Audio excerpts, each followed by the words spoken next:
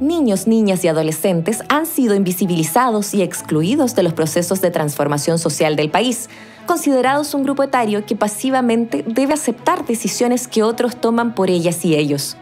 Así, el reconocimiento constitucional de los derechos de la niñez y adolescencia es una posibilidad inédita para avanzar hacia una sociedad que profundiza su democracia. La Universidad Abierta de Recoleta presenta el curso Niñez y Adolescencia en la nueva Constitución. En este se actualiza el saber sobre esos derechos y se generan herramientas para llevarlos a la práctica con la guía de docentes y especialistas del más alto nivel. La inscripción y participación son totalmente gratuitas y la aprobación del curso es cocertificada por la Facultad de Ciencias Sociales de la Universidad de Chile, el programa U Abierta de la misma Casa de Estudios y la Universidad Abierta de Recoleta.